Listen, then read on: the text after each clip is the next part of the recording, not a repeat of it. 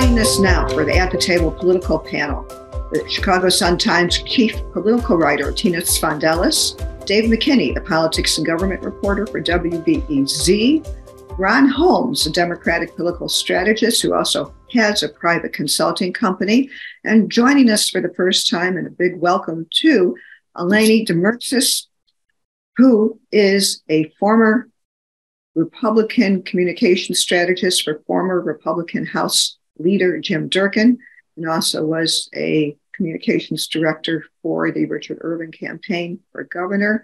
She now is also with a private public affairs firm. So much to talk about Springfield, Chicago, big goings on. Let's start with what's happening right now in Springfield, where the big story is what will happen to the gun bill that is now pending before the supermajority Democratic House, Democratic Senate. So, Tina, you've been following this closely. We're speaking as there's a second hearing today. Uh, what's the state of play? What are the sticking points? And if we have supermajority Democrats, this isn't Washington that I cover. What's the problem? Uh, so far, we're not seeing a huge problem. Um, I do think the political headwinds are in favor of this bill passing. There could be some other changes because this is a Democratic, a House Democratic bill. Um, the Senate needs to do what it needs to do. They might tinker with things. Um, I have been noticing some of the supportive statements from different gun groups. They're very broad, but we don't really know particularly if they want other things, if they want a little bit more. Um, and so they're letting it go through the process. Democrats introduced this about two weeks ago. We, you know, we thought it would come a little bit earlier this year, but obviously uh, they waited until after the election. Um, so things are looking good for it. This is the typical process, and we're in uh, the second of third hearings right now as we speak. There's a hearing and there's another one on Tuesday. We have not heard any of these, uh, the pro gun people, the pro Second Amendment people yet. So we're anticipating a big show, whatever that is, whenever they want to say what they want to say. We have not seen that yet. The first hearing was on Tuesday, I believe. And that was a lot of um, gun victim survivors, including a Highland Park's uh, surviving victim. So, what is the provision in the legislation that might do the most impact to diminish the gun violence that is chronic in Chicago as well as in other places in the state? This is a good question. I do think that um, some of these assault weapons or some of these types of weapons that are out there that people believe should not be out in the streets, that they believe should be used by the military, um, the clips, they are clips that are added onto a gun that allow people to shoot rapidly um, people believe that that is a contributing factor to gun violence in Chicago, to these mass shootings that we've seen. We had a Halloween shooting where uh, 15 people were shot, including three kids in East Garfield Park. So we're seeing more and more of these. So they're trying to stem the flow of these, you know, rapid fire guns that just, you know, a couple of shots can kill multiple people. So they find that to be hugely dangerous. So, what's the strategy here? Uh, before I turn to the others, Tina, a, a, vote in two weeks. A vote. I mean, is it? Do you think yeah, the vote will absolutely happen in the lame duck, or it, will it be kicked over to the new session? Uh, well, the, the voting threshold is lower starting January first. It, it, it, it would be. It's. It seems like it's going to happen. I think they need sixty votes, um, and like I said, the political headwinds are in their favor. Ron and others are working for organizations that are pushing this. We're getting. Um, the media is getting a push from all these um, national gun safety groups every day. Um, there is a huge public affairs push right now. Not to say that that's what makes anything go, but it's helpful. I believe that they're on TV. I think there's digital ads. So this is the final push. The lame duck session is in January, early January, um, and so they're hoping to pass this. And as I said, it looks like it's going to happen unless um, say senators or other people kind of point out, hey, we don't like this one part. Or what if people say they don't want the FOID age limit in there? Um, that has been a sticking point for years. So we're still trying to see a little bit of if, whether people want to tinker with the legislation. Ron Holmes, you know Springfield like the back of your hand. So you know you are part of Protecting Illinois the Protecting Illinois Committee. So tell us, this is, is, what is this? Is this an independent expenditure committee? What is it? What are you trying to do, and how? Sure. Protecting Illinois Communities is a C4 that's organized um, a convener's table of folks that um, have been big voices and traditional voices in the gun violence prevention space, but as well as community voices. Uh, as everyone knows here, uh, the NRA is a very organized and powerful force. Uh, so this group was kind of convened to make sure that you know we can not only do the paid media that Tina referenced earlier, but also grassroots organizing, as well as provide a lobbying presence to help members uh, not only be educated on the bill, but also feel comfortable back in their home district. Well, are you whipping it? What What's on the back of your envelope?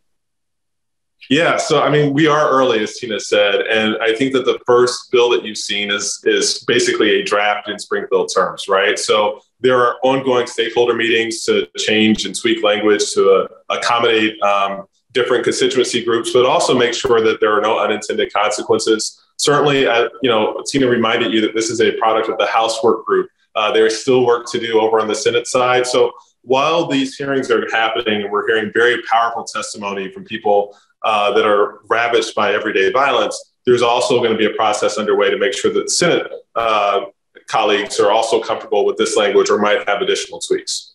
So, in the Northern Illinois, this is an easy, uh, will probably be an easy vote for most people.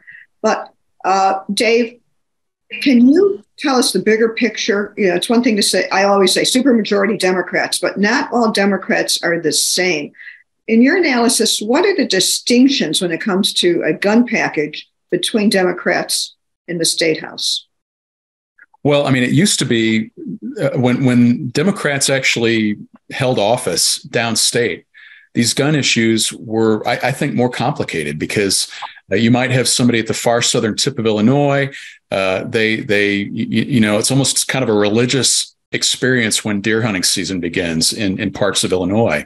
And, and, you know, families come together around that and it becomes a whole thing. And so, you know, any talk of, of doing anything with gun laws is uh, kind of viewed rep- as repulsive to, you know, to, to people there. And so I, I think that's an issue here now that, that downstate is largely Republican and getting more Republican. Uh, it makes it a little easier, I think, to pass these kinds of bills. Uh, and and you know, look, the fact that on July 4th, as, as, Lynn, as you know, you were a, a, a you observed it, uh, the the Highland Park massacre that uh, that that unfolded. I mean, we have. Uh, you know, one of these mass shootings involving one of these weapons that that it could be regulated, that was used happening in the collar counties, and the collar counties are where where elections, statewide elections get decided in Illinois. And I think, you know, that's a factor. Suburbanites, by and large, are, are in favor of tighter restrictions on these types of weapons. And I think that's, you know, that that drives the narrative here in, a, in, in large part. I think it's going to be an interesting thing as, as it unfolds about, you know, what what what do they settle on in terms of penalties here? Is it a felony? To uh, to possess one of these items. I mean, that in past gun control debates, that always has been kind of the fly in the ointment. Um, but you know, one one other little footnote here in in the the package of legislation that I've seen, um, you know, there there's a, a, pretty innocuous resolution that Representative Morgan put on the table as well. I believe it's in in committee here that uh, just simply honoring the victims in Highland Park and honoring the first responders and and praising the, the the, village for the way it responded to July 4th. And I was looking at that the other day and you know just in terms of the witness slips that were entered on this resolution that doesn't advocate gun control in any way, there were more than 300 people who were listed as opponents to that. And it's it it it boggles the mind how anybody in in our society could be against a resolution like that especially since Bob Morgan represents Highland Park in the state legislature. So that's if people are wondering why would he take that extra step to include it, it's because uh, those are his constituents. So, uh, Eleni, super minority Republicans who represent the Southern Illinois turf that Dave's talking about, what and how is the response, do you think, evolving and developing from within the Republican House caucus? And what do you see happening? So I think, you know, as Dave said, this is a very sensitive and important issue to downstate Illinois. And I think what we need to what we need to look at is more not not about when this or or if this is going to pass, but when is it going to pass? Because there's two options here now. You can either, they can either pass it in the lame duck, where you have uh, unfortunately, now a handful of House Republicans leaving uh, who would be more willing to take a controversial, well, in their eyes, controversial vote to make this bill bipartisan? Or do you wait until the next General Assembly where you know you don't need any uh, Republicans to vote for it, and you can give all the new freshman Democrats a win on passing an assault weapons ban. So I think I think that's probably the biggest thing, as we said, with supermajorities. It's not, you know, it can they pass it, but you know, when are they going to pass it? And I think it's really part of their strategy right now is they're trying to figure out, you know, do they want it to be bipartisan? So I mean, I would guess it would be very helpful for them to make it bipartisan, and I think that they would probably probably see uh, more Republican votes on it if they were to pass it in lame duck. Well, that's such a shrewd statement. I had not realized that because I know in Washington, uh, Democrats call something bipartisan, and Republicans have too, if you just get one member of the opposite party. But for the, so do you think of the lame duck state house Republicans that there are some who would be willing to vote for this? Oh, absolutely. I absolutely think that there are. And I think, as we said earlier, you yeah. know, in the, in the suburbs, you know, we've lost the cycle a lot of House Republicans. And, you know, those folks are probably at this point in a lame duck more willing to take a controversial vote uh, that maybe they would not vote for if during an election cycle if they were still in the still in the mix. So I think that that's definitely something that Democrats are looking at. And, you know, they probably, it's in my opinion, would be in their best interest to make it a bipartisan bill. But it would give a, a talking, it would, it would be a way of explaining it in a more, uh, in, in, in turning down the heat. What is going to happen to Illinois Republicans in the wake of the midterm? And maybe start in the state house, which you know the best. We have new leadership there how do they maneuver? What do they do starting next year? What role do they play? So it's going to be very difficult.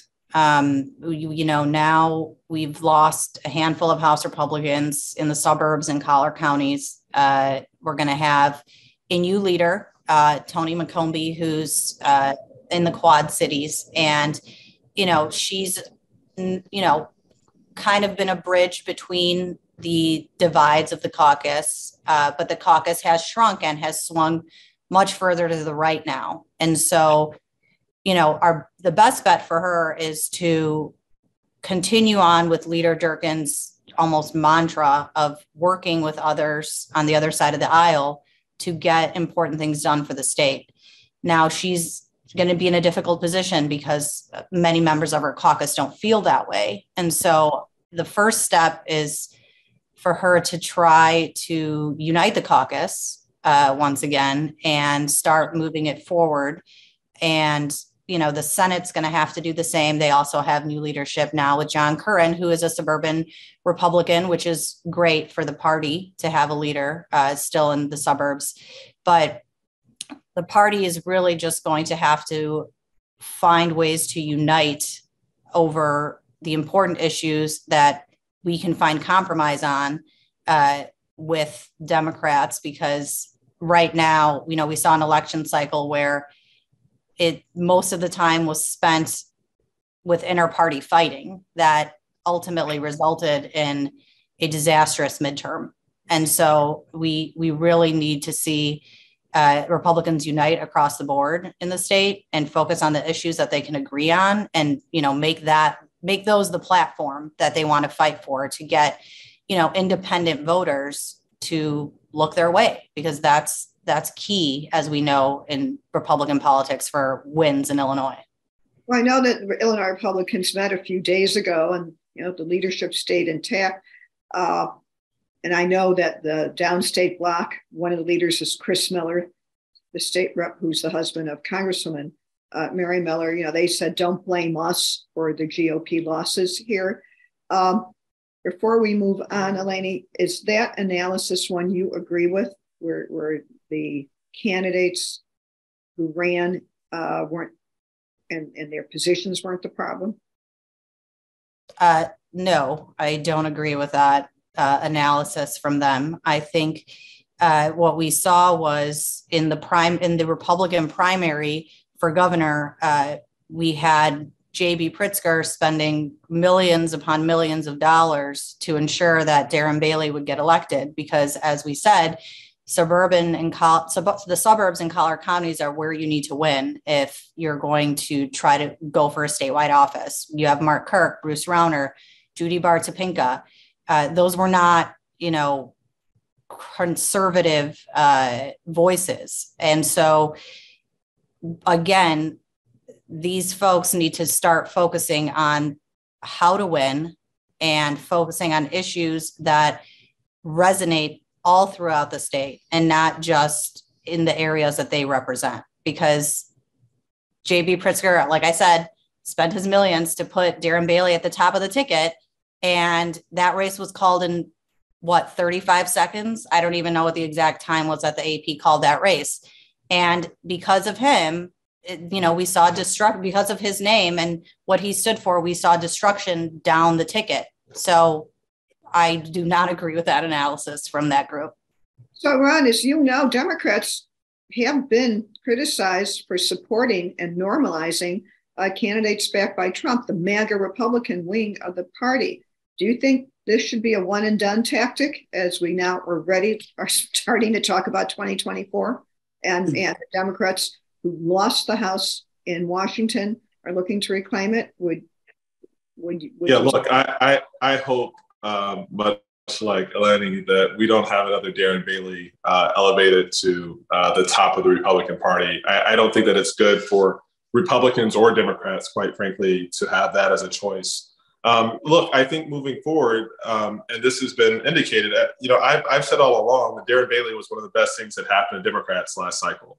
And the reality is, um, if Republicans want to make gains uh, during the next cycle, because you know, every member of the House is up in two years, uh, and there are some suburban races up in two years. Um, the thing that they were dragged over the head on time and time again was guns and choice. And I think ultimately, you know, this assault weapons ban gives them an opportunity, not just the lame ducks, but also, you know, folks that are going to be in that caucus moving forward, the opportunity to show that there's, you know, some separation from, you know, the Darren Bailey type politics. Uh, and then, you know, again, like uh, we've already seen some Republicans um, that are retiring, uh, talking about the Republicans' platform on, on choice itself. Um, you know, so like we're going to see a, a, change in the dialogue. The question is, you know, how does Leader McCombie and, and Leader Curran kind of, you know, move their caucuses to where they need to be, especially in the absence of statewide leadership? Interesting. So before we move on to the Chicago mayoral race, uh, Tina, we'll have a little different dynamic in Springfield coming in. You have a Speaker Welch, who now has been around a few years and is uh, more established and experienced in this position. But we're going to have, as a Secretary of State, Alexi Giannoulias, who will be more activist than Jesse White. Uh, we we know he came out of a bruising campaign. Uh, his campaign advisor, Hannah Gervais, is joining him as a deputy chief of staff. I would imagine he will take a higher profile than uh, Jesse White, just in that he will be heard from. Uh, Tina, how do you think that will change the mix, if at all, having Alexi in statewide office? It is 100% a political resurrection for him. We're all watching to see what he's going to do next. I believe that there was a forum during the primary where the candidates were asked, you know, will you use this position to step up to higher office. And I think he was the only one who would not say that. So we all believe that he will try to do something in the future. I think there will be a spotlight on him. I think people will be watching, but it's also because Jesse White led that office for decades. And we, I mean, we've seen some changes, but now you have a younger person who likes the spotlight who's going to make changes. So I do think that's going to be kind of a fun thing to cover next year to see how he kind of revitalizes this office that is kind of a boring office. It can be. Um, and so it's going to be tr- interesting to see how he changes that up. So, Dave, will Alexi, in a sense, challenge Welch as the uh, elected face of Illinois Democrats? You know, intentionally or unintentionally? Well, I mean, you, you know, I would argue the face of Democrats in Illinois is J.B. Pritzker. Uh, and and sorry, sorry, sorry. You know, and, and, so I think I think with Alexi, you know, to pick up on Tina's point, um, you know, this office historically has been a springboard for other people. I mean, you you can look back to the days of George Ryan. He he uh, enacted the or uh, helped push the uh, effort to lower the state's drunk driving threshold to 0.08. Went on to become governor. Before him, it was Jim Edgar, uh, two terms as Secretary of State, and then he he went on to serve as governor. And before Edgar, uh, for the old timers, Alan J. Dixon from Belleville. Oh who went on to become U.S. senator. So the the history is there for an office that is really one of state government's you know biggest prizes because of all the jobs that exist there, the contracts, uh, and and it it does oddly. And Tina's right; it is a boring office until you need to you know go in there and, and get a, a new you know license sticker or something. But um, it, it's an office that that can kind of uh, touch people's lives in certain ways. We all need driver's licenses. We all deal with organ donations. We all, uh, you know, uh, uh, are interested in, you know, state history and stuff. So, I mean, uh, Alexi has a platform to run on, but he would be wise to kind of focus in on, on, you know, spending a year or two, kind of getting that office reshaped in the way he wants it and, and coming up with results. Because he made a, a lot of promises on that. And I, just so everyone knows, I know that Governor Pritzker is the top Democrat in my mind, which you cannot read. I was thinking of the category under that. So, Anne and everyone before you call me, I know this. So, uh, just I was slicing and dicing in different categories. Ron, what do you think will be uh, the dynamic then in a new session? Also, by the way, the next biggest prize that people will be waiting for is to see if Senator Durbin decides to run for another term. Uh, and then, of course, what happens in the 2024 presidential race if uh, President Biden decides not to run. But with these unknowns out there, just having some new blood in there with Alexi, how does it mix things up, if at all, Ron? Look, uh, Alexi's never been shy about the things that he wants. And, you know, I, I think that he, you're going to see him all over the state. Um, and also, you know, again, I, I, think that there's some merit to being a boring office. Let's not forget how Jesse White came in office. Uh, so sometimes boring is good. Um, but yeah, I mean, like, look, Alexi's going to be out there. He's going to travel the state, um, just as we've seen uh, Speaker Welch traveling across the country, and also just as we've seen Senate President Harmon, who's also relatively new to his gig as well, uh, travel across the state with their with their colleagues. Look, there was a time in Illinois politics where the Democratic Party of Illinois chairman uh, couldn't show up in certain districts. Uh, I think we have a statewide ticket that is prepared to go anywhere in the state, talk with constituents, put their arm around state reps and state senators without those reps and senators uh, freaking out that it's going to wind up in a mail program at some point. Right. And Eleni, didn't Giannoulias already reach out to? Is it? I'm blanking on the. Well, Dan, Dan Brady is a member of Alexi's transition committee, yeah. and I, I think he's chairing the committee on organ how do you interpret that? Is a significant olive branch? Yes, but I think it, there's no question that Alexi has aspirations for a higher office. I think he always has, and I think that uh, I just wait and see what he decides, which office he wants to go for. And like you said, waiting to see if Durbin uh, decides to run for another term. I think that will probably determine, you know, what his next steps are uh, for his future.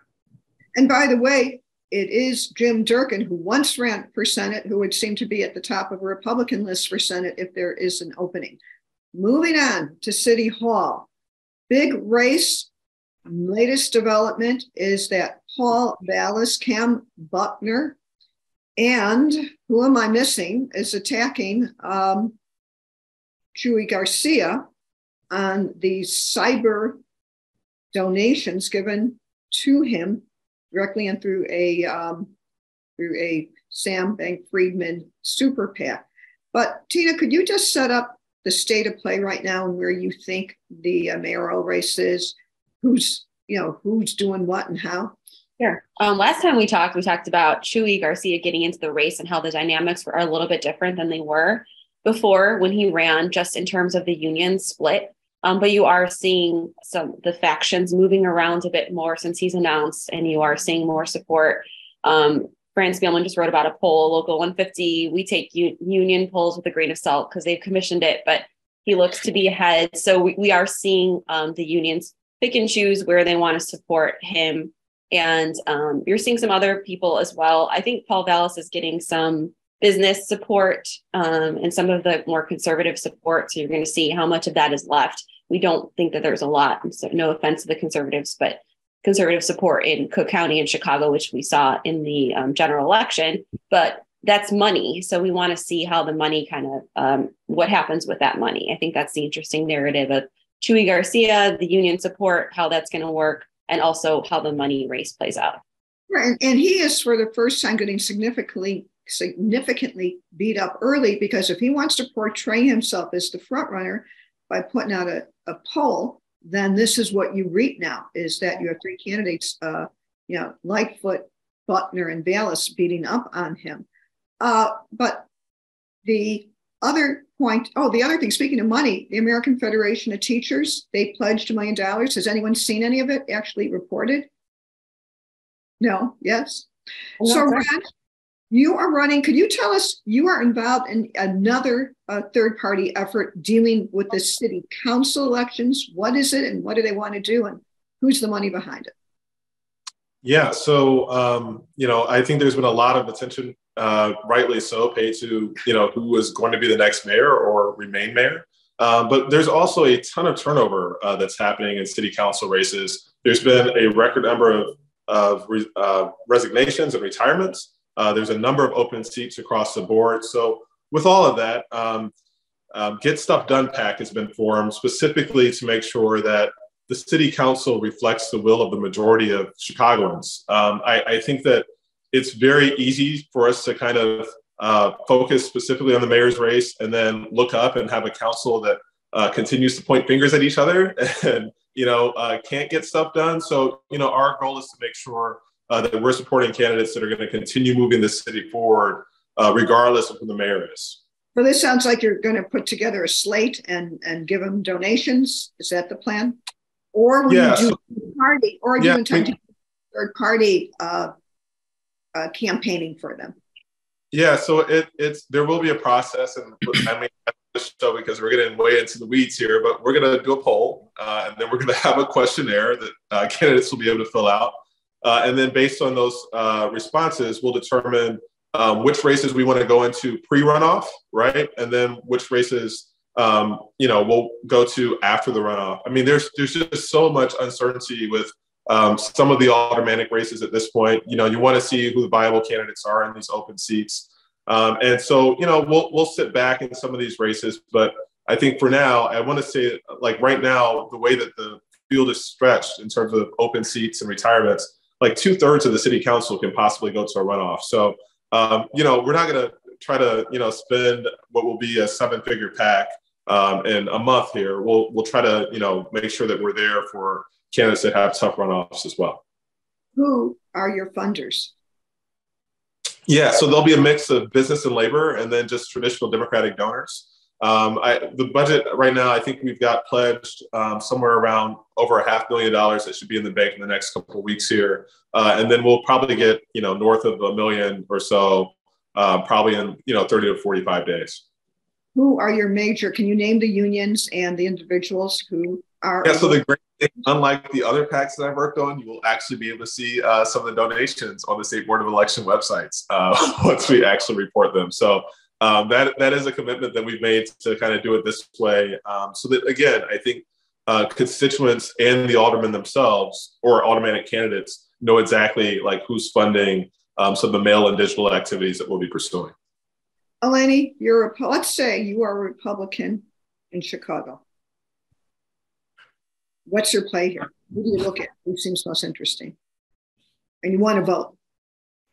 I think you know we haven't seen a one candidate take the lead necessarily that is just this is the person we all want to back this person you know Chuy just got in the race recently and we're just now seeing you know the negative come out on him and this is just getting started and so it's going to be interesting to see how negative uh, people go or his opponents go on him and what else is out there. Uh, and then that poll that 150 did that's backing Chuy, you know, one tidbit out of that that was interesting is that you know Paul Vallas was in third place, and I think that that shows that there are still a lot of players in the mix here, uh, and this isn't you know Chuy's our person, you know everyone's just running behind him, and the union uh, divides will also be interesting to see how they all shake out as well. Do you think a Republican? This is officially a nonpartisan race. So mm-hmm. it's up. Chuy is one of the most liberal members of Congress. He's to the left of the left of the left, wherever you, how far left you go. He's he. Those are where his votes are. Do you think that's relevant if you are a Republican, or is it really will be an issue thing? And if you like a platform on crime, you don't care, you, or you will disregard because it's officially nonpartisan what the voting record is?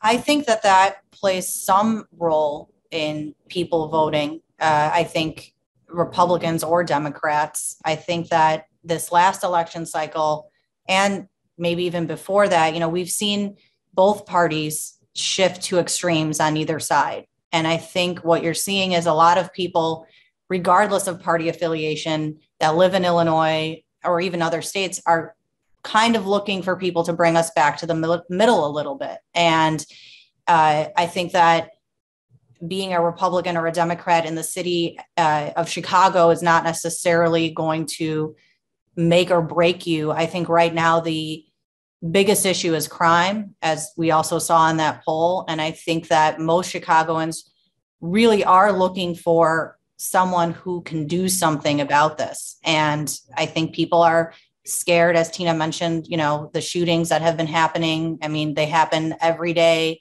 sometimes outside your front door. I mean, it's it's a weird and different time that we're in right now.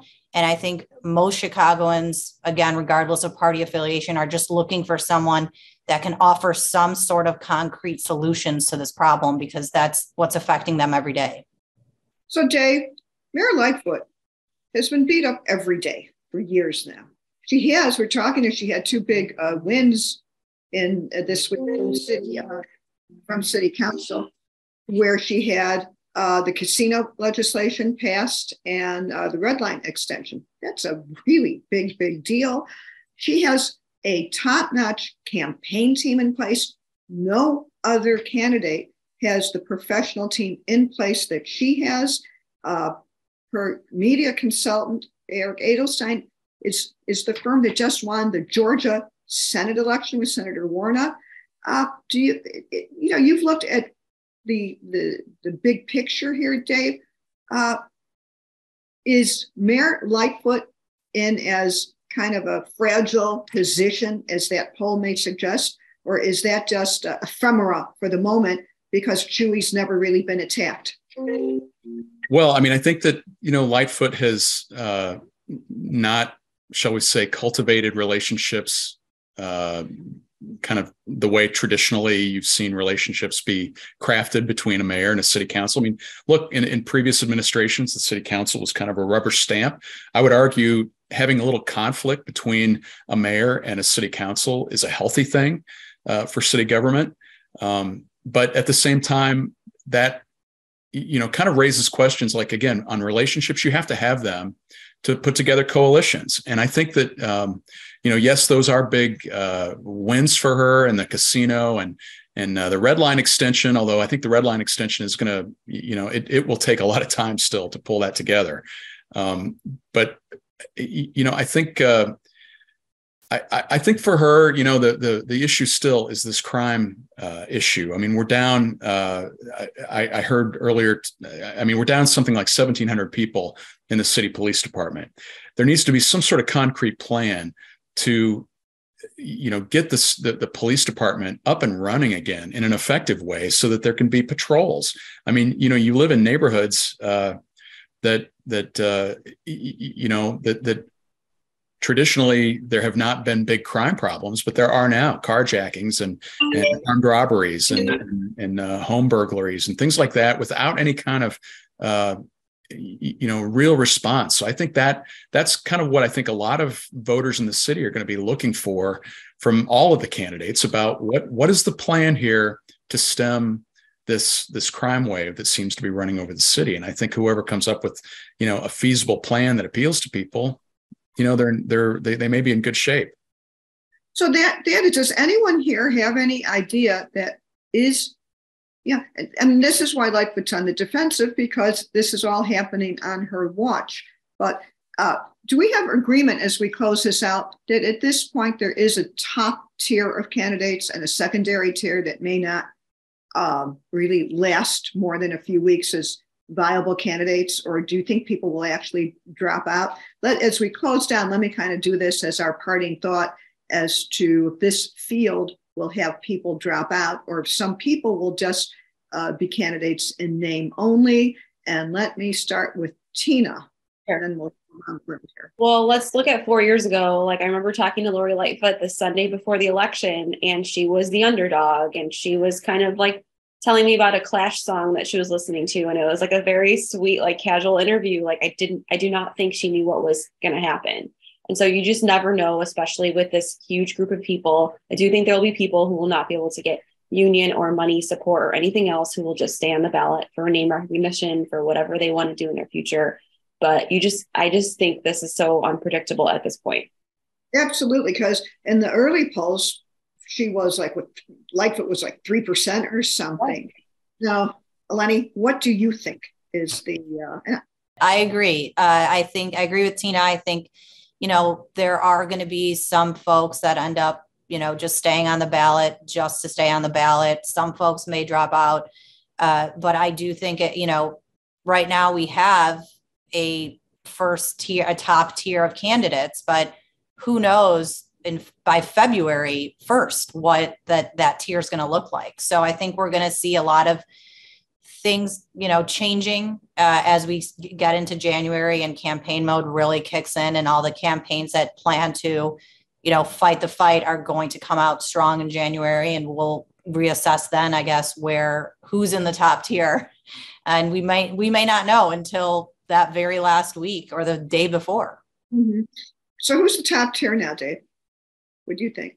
Well, I mean, you have to you have to count uh, Lightfoot, of course. She's got the advantages of incumbency. Uh, Chuy Garcia, I think, is is is the other one. I mean, that you know, if the two of them are in a runoff, um, I, I, think it would be as reporters, it would be a very fun election to cover because they're both seasoned campaigners. They know they know how to appeal to people, and you know, you go back in time and like uh, the, the dynamics here are a little bit different. I mean, when when you know Rahm Emanuel, in, you know, with the whole Laquan McDonald thing, the, the, the, way that that was handled, the cover up, and and just the violence, the, the the video that we all saw. I mean, it torpedoed his political career in a way that you know Lightfoot isn't facing that kind of existential threat. Um, and and so she has these these other issues, crime, as we mentioned, uh, the the the economy in the city, um, you know, various things like that. But but I think she's she's uh, in a in a halfway decent position. But Chuy Garcia, I would never count him out. I mean, he is uh, he he is a seasoned campaigner. Uh, he he's a holdover from the Harold Washington days. Uh, knows how to put coalitions together. Has union support. Um, so I think the two of them right out of the gate have to be considered. That Vallas, he's he's he's kind of on the fringes. I think. I mean, Paul has uh, certainly knows city government, uh, having spent as much time as he did with CPS. But but I do think that you know he's he, he's kind of uh, there. There's this. He, he's been in so many elections at this stage that uh, you know that I, I, think there's a fatigue almost maybe associated a bit with Vallas. He's not a fresh face. And the last word we'll have from Ron. So Vallas and Lightfoot and Chuy all have records that they could be attacked on. Willie Wilson has no record. He's run multiple times. What is the Willie Wilson factor as we close out this edition of At the Table, Ron? Yeah, look, if Willie Wilson stays on the ballot, uh, there is a considerable chunk of folks that are willing to vote for Willie Wilson, regardless of what whatever he says over the course of this campaign. I think we've seen it from his last couple of races, um, which makes the question or begs the question of why are there so many um, a black elected officials running in this race and also like what the path is for you know some of the other black candidates when you have lori when you have willie on the ballot certainly something to watch over the next couple months and with that really smart comments from everybody this is this has just been. Uh, I'm honored that you all came today for this discussion of what's happening in Springfield and Chicago. Thank you for joining us at this edition of At the Table.